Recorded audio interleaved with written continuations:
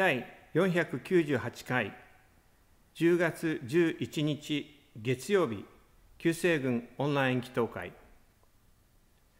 聖書フィリピの信徒への手紙4章19節私の神はご自分の栄光の富に応じてキリストイエスによってあなた方に必要なものをすべて満たしてくださいます。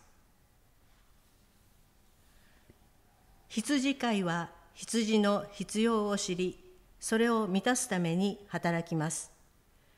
水や草があるところには、獰猛な狼や他の動物もやってきます。何が起こるかわからない危険がありますが、羊の必要を満たすために行動します。イエスも私たちの必要を知っておられるので、それを満たすために大胆な行動を起こされます。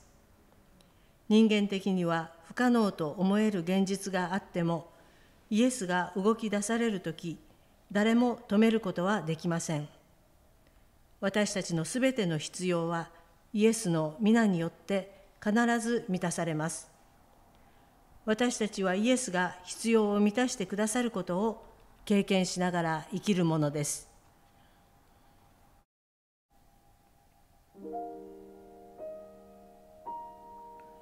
共に祈りましょう。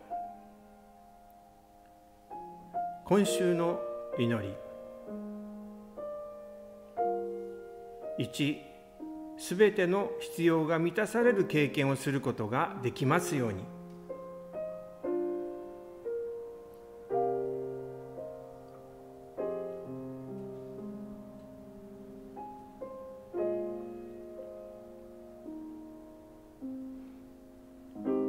2コロナが完全に収束し新しい出発ができますように。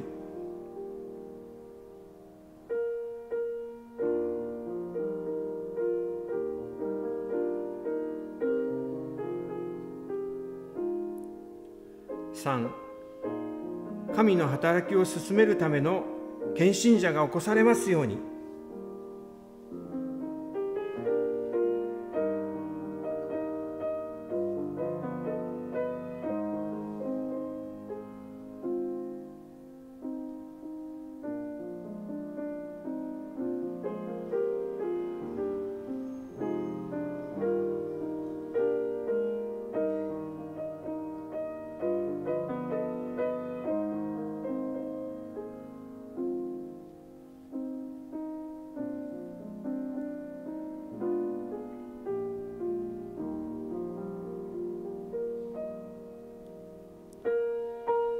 限りない栄光の富を持っておられる神様。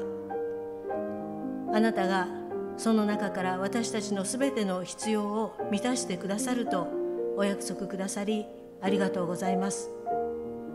どうぞこのお約束を信じ本当に私たちのすべての必要が満たされるその経験を重ねることができますようにお願いをいたします。